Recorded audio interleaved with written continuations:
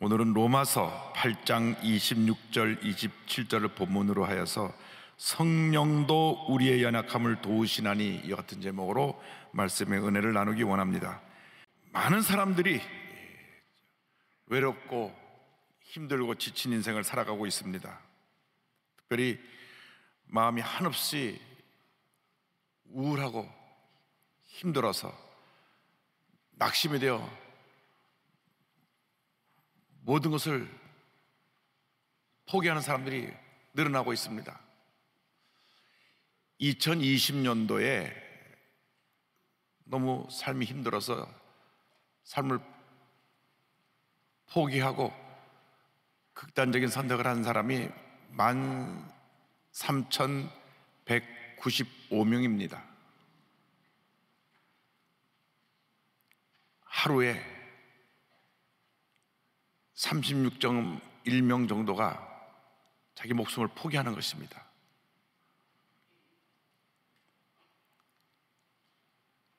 그러니까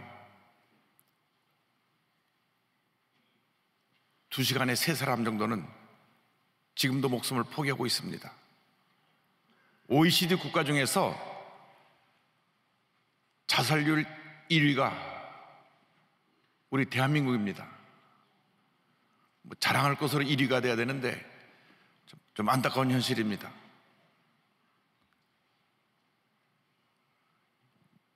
또 요즘은 또 오미크론 확진자 또 1위야, 1위가 돼서 대한민국이 전 세계를 알려지긴 했는데 빨리 이것이 수습이 되고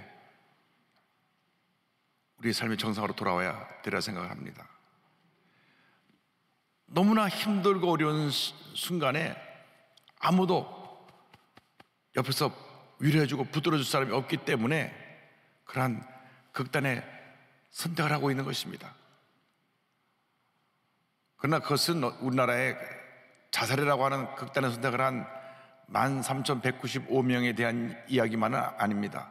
온 세계가 지금 고통 가운데 탄식을 하며 살아가고 있습니다. 로마서 8장 22절입니다. 피조물이 다 이제 함께 탄식하며 함께 고통을 겪고 있는 것을 우리가 아느니라. 코로나19의 그 확산세가 전 세계를 뒤덮었습니다.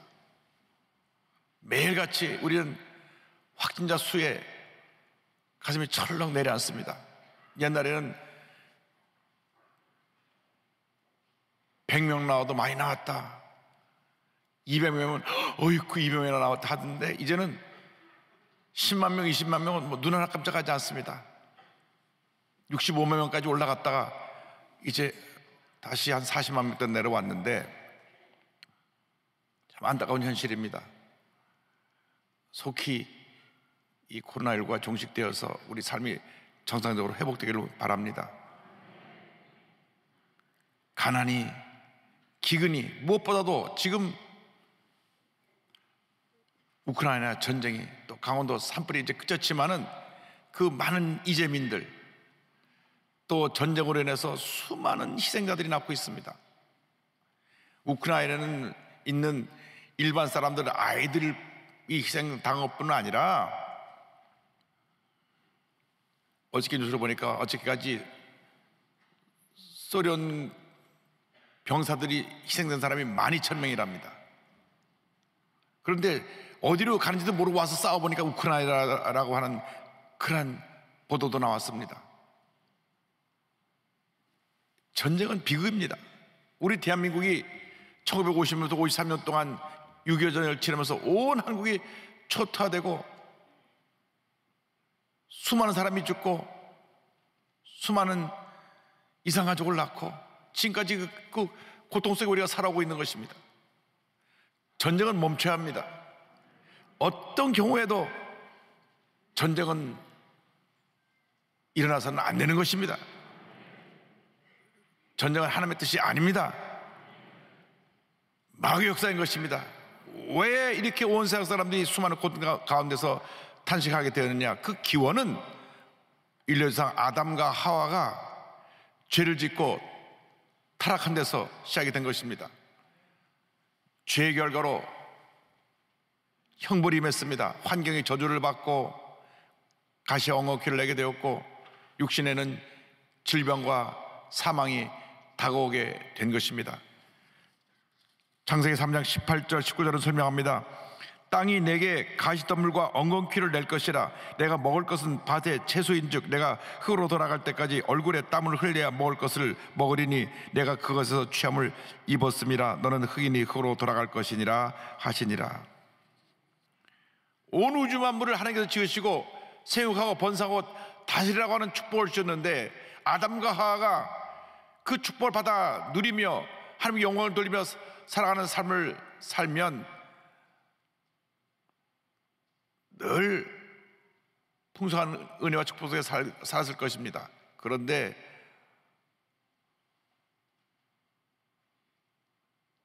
마귀의 꼬임을 받아서 하나님이 금하신 선악과를 따먹음으로 죄가 들어왔습니다. 그래서 그 축복을 마귀에게 빼앗겨 버렸습니다. 온 세상이 마귀의 영향권에 들게 된 것입니다. 아카논수 마귀가 공중권세를 잡고 지금도 온 인류를 파멸로 이끌어 가고 있는 것입니다. 공그 오염으로 하늘이 죽고 토지 오염으로 땅이 죽고 물의 오염으로 강과 바다가 죽고 수많은 사람들이 각종 질병에 악성 바이러스의 기근에 환경의 재앙으로 전쟁과 다툼으로 죽어가고 있습니다. 요한복음 10장 10절에 도적이 오는 것은 도둑질하고 죽이고 멸망시키려는 것뿐이요 이렇게 주님 말씀하셨습니다. 마귀가 우리에게 온 것은 도둑질하고 죽이고 멸망시킨 것뿐입니다. 그러나 예수님이 오신 것은 우리를 살리러 오신 것입니다. 온 인류의, 인류의 희망은 예수 그리스도이십니다. 예수 그리스도가 온 인류의 희망인 것입니다. 주님 요한복음 10장 10절에 이어서 말씀하셨습니다. 내가 온 것은 양으로 생명을 얻게 하고 더 풍성히 얻게 하려는 것이라.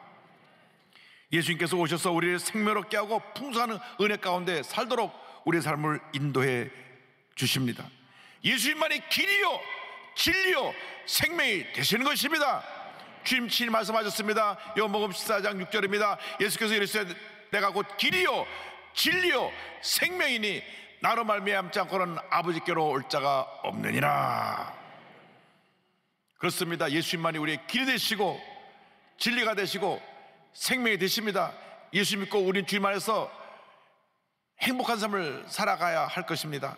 그런데 예수를 믿는 그 순간 우리의 삶이 단번에 행복으로 바뀌는 것은 아닙니다. 우리가 육신을 입고 있는 동안에는 육에 속한 사람, 옛 사람과 싸워야 되는 것입니다. 이 육신의 몸을 벗어버리는 날까지 우리는 끊임없이 옛사람과 죄와 싸워야 합니다. 주님 오실 때 우리의 몸이 완전히 속량되어서 영어로 몸으로 바뀌어지게 될 것입니다. 로마서 8장 23절입니다. 그뿐 아니라 또한 우리 곧 성령의 처음 익은 열매를 받은 우리까지도 속으로 탄식하여 양자될 것 곧 우리 몸의 속량을 기다리느니라. 문제는 분명히 내가 예수 믿고 새 사람이 되었는데 아직도 죄성이 남아 있어서 자꾸 죄 유혹을 받고 죄에 끌려간다고 하는 것입니다.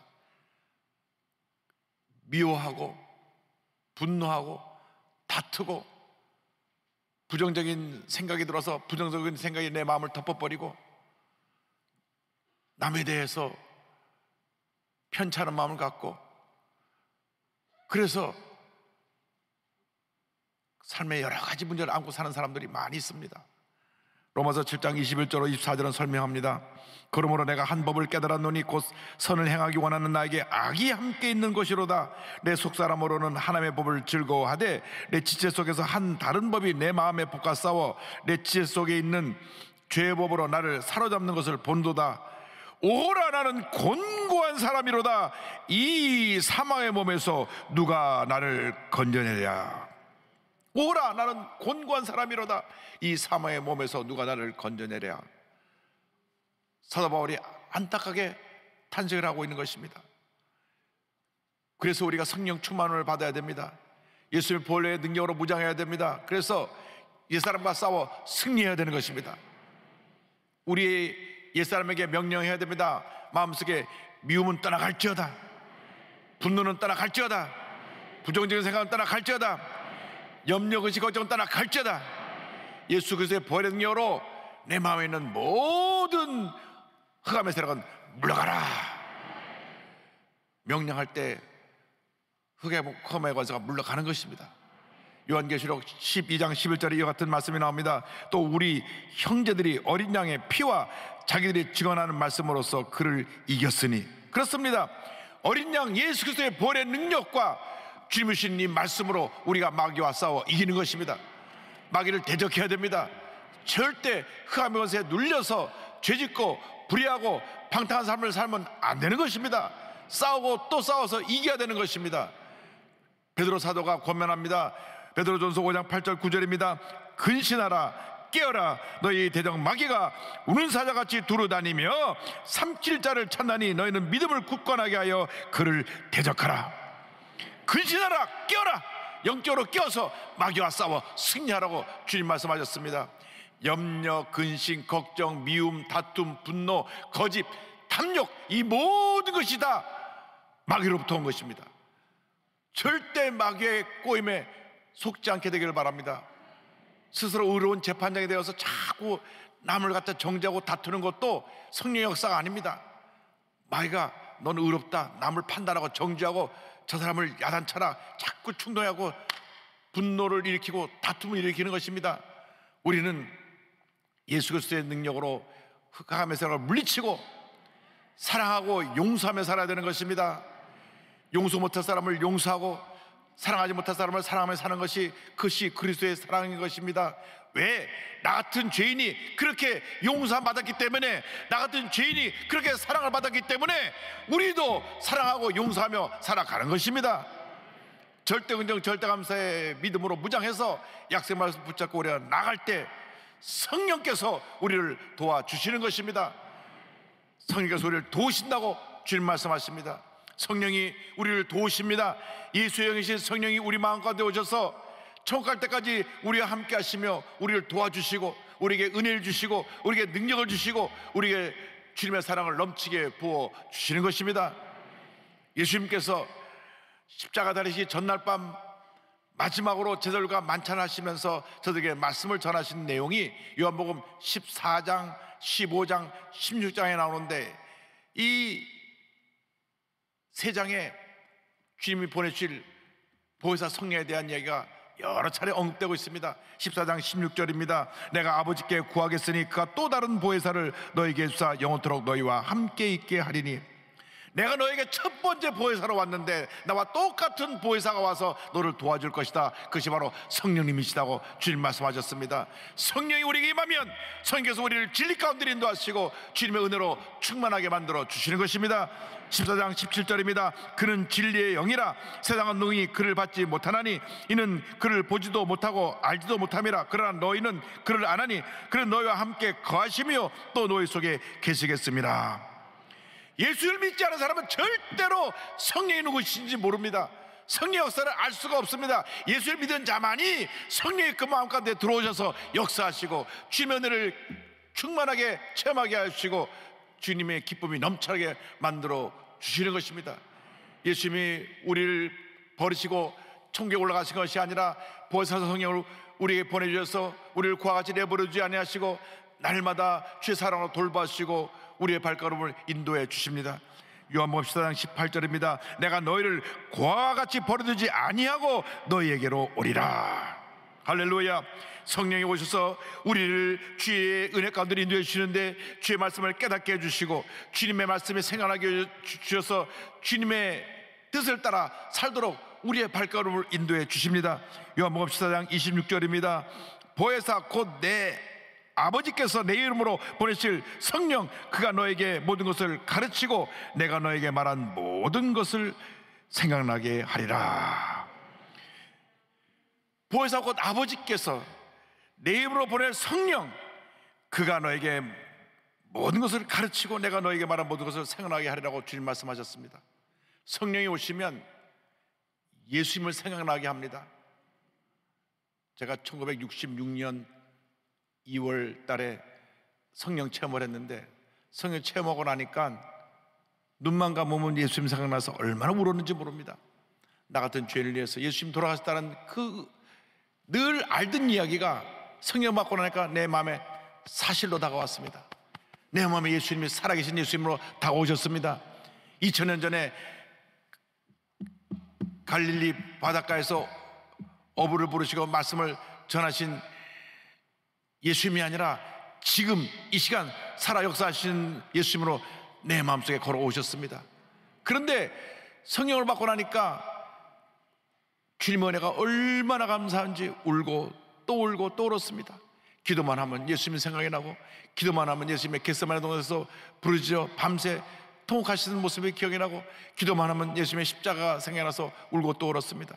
성령 받으면 예수님이 생각나는 것입니다. 성령 받으면 예수님을 닮아가게 되는 것입니다. 성령 받으면 예수님의 가르침을 깨닫게 되는 것입니다. 성령 받으면 예수님을 전하는 복음의 증인이 되는 것입니다. 요한복음 15장 26절입니다. 내가 아버지께로부터 너에게 보낼 보혜사 곧 아버지께로부터 나오시는 진리의 성령이 오실 때 그가 나를 증언하실 것이요. 할렐루야.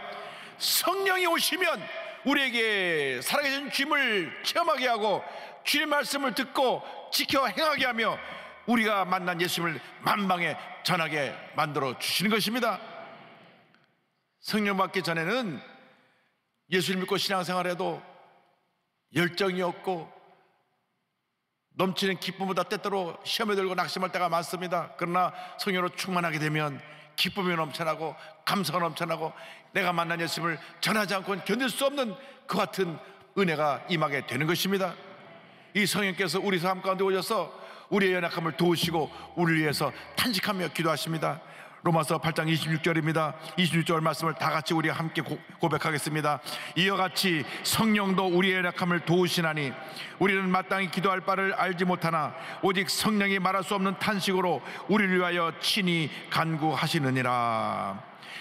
성령도 우리의 연약함을 도우시나니 우리의 연약함을 도우시나니 우리의 연약함을 도우시나니 할렐루야 우리는 마땅히 어떻게 기도할 바를 알지 못하지만은 어떤 내용으로 어떻게 기도를 드려야 될지 내 삶에 어떤 문제를 어떻게 하려 될지 알지 못하지만은 성령께서 내 속에 오셔서 말할 수 없는 탄식으로 우리를 대신하여 하나님께 간구하고 계신 것입니다. 그러므로 성령님을 인정하고 환영하고 모셔드려야 됩니다. 성령님 내 마음 가운데 오시옵소서. 성령님이여 내 마음을 붙들어 주시옵소서. 성령님이여 내 마음을 치료하시고 용서하시고 다스려 주셔서 주님의 기쁨이 넘쳐나게 하여 주옵소서. 내 마음에 미움이 있나이다. 내 마음에 분노가 있나이다. 내 마음에 아픔과 상처가 있나이다. 내 마음 속에 지울 수 없는 아픔의 흔적이 있어서 늘 고통 가운데 살고 있습니다. 성령이며 오셔서 나를 치료하시고 나를 어루만져 주시고 나를 대신하여 하나님께 간구하여 주옵소서. 그때 성령께서 내 마음을 어루만져 주시고 나의 상처를 보듬어 주시고 치료해 주시며 나를 강건하게 만들어 주시고 주님의 은혜 가운데 굳건히 서게 만들어 주시는 것입니다. 그래서 사도 바울이 말하기를 에베소 교인들에게 술 취하지 말라. 이는 방탕한 것이니 오직 성령으로 충만함을 받으라. 오직 성령으로 충만함을 받으라. 오직 성령으로 충만함을 받으라. 할렐루야. 성령의 충만을 받으시기 바랍니다. 성령의 충만을 받을 때 놀라운 역사가 일어나게 되는 것입니다. 권능 받고 증인이 되어 하나님 영광을 온천에 드리는 주님의 견일꾼이 되는 것입니다. 우리 삶에 왜 문제가 많습니까? 왜 우리가 늘 시험에 들고 넘어집니까? 성령으로 충만하지 않기 때문에 그렇습니다. 대단히 죄송하게도 우리가 등 따숩고 배부르니까 옛날처럼 주님을 간절히 찾지 않습니다. 열정적으로 기도하지 않습니다. 그러다 보니까 성령의 은혜가 슬슬 내 마음속에서 사라지고 소멸되어서 그 같은 능력 있는 신앙을 하지 못하고 사소한 일에 시험 들고 말 한마디만 들으며 따르르 떨고 분노하면서 다투고 미워하고 이런 일들이 생겨나는 것입니다. 우리가 다시 성령 충만을 회복해야 됩니다. 성령의 맛이 없어서 나를 성령으로 충만케 충만케 충만케 하여 주어서 절대 긍정 절대 감사로 기뻐하고 감사하며 믿음으로 나가는 우리 모두가 되게 하여 주시옵소서. 이 어떤 복음의 증인들이 되기를 바랍니다. 성령께서 우리 위해서 간구하십니다. 간구하시는 성령에서 대하여 27절에 이 말씀이 이어집니다. 마음을 살피시니가 성령의 생각을 아시나니 이는 성령이 하나님의 뜻대로 성도를 위하여 간구하심이라. 성령께서 우리 마음 가운데 오셔서 하나님의 뜻 가운데 우리를 인도하시고 하나님의 뜻을 따라 우리를 위해서 간구하시는 것입니다. 그러므로 우리는 늘 성령께서 내 마음에 찾아와서 주님의 음성을 들려주도록 영적으로 깨어 있어야 됩니다. 기도로 깨어 있고 감사로 깨어 있고 찬양으로 깨어 있고 말씀으로 깨어 있는 여러분 되기를 바랍니다. 기쁨으로 감사하며 찬양할 때 성령이 역사하십니다. 말씀을 잡고 기도할 때 성령 역사하시는 것입니다. 빌리보서 4장 6절에 사도 바울이 권면합니다. 아무것도 염려하지 말고 다만 모든 일에 기도와 간구로 너희 구할 것을 감사함으로 하나님께 아뢰라. 염려할 시간에 근심할 시간에 걱정할 시간에 남과 다투고 싸울 시간에 엎드려 기도하고 부르짖고 부르짖고 부르짖으면 기적이 일어나는 것입니다. 하나님의 은혜가 임하는 것입니다. 축복이 다가오는 것입니다. 우리들의 문제가 무엇입니까? 내가 하나님에 대해서 내가 판단하고 내가 하나님에 대해서 내가 분노하고 내가 하나님에 대해서 스스로 상처받고 모든 걸 결정하고 하다 보니까 모든 문제 속에 갇혀버리는 것입니다. 여러분 고백하시기 바랍니다. 나는 아무것도 아닙니다. 주님만이 나의 모든 것 되십니다. 그때 성령께서 강물처럼 내 마음속에 넘쳐나서 위대한 역사를 이루시는 것입니다. 여러분이 지금도 자꾸 분나고 자꾸 상처받고 말 한마디만 들어 부르 떨고 있다면 여러분이 하나님 자리에 대신 앉아서 스스로 모든 것을 판단하기 때문에 그렇습니다. 나는 아무것도 아닙니다 하면 우리 그때부터 자유함이 임합니다. 나는 아무것도 아니니까. 누가 나한테 뭐라 그래도 나는 아무것도 아니니까. 누가 날 욕해도 난 아무것도 아니니까. 누가 당신이 이런다 뭐라 하더라 하도 난 아무것도 아니니까. 주님이 나와 함께 하시니까 주님 알아주시면 됩니다. 이것이 바로 성령 충만인 것입니다.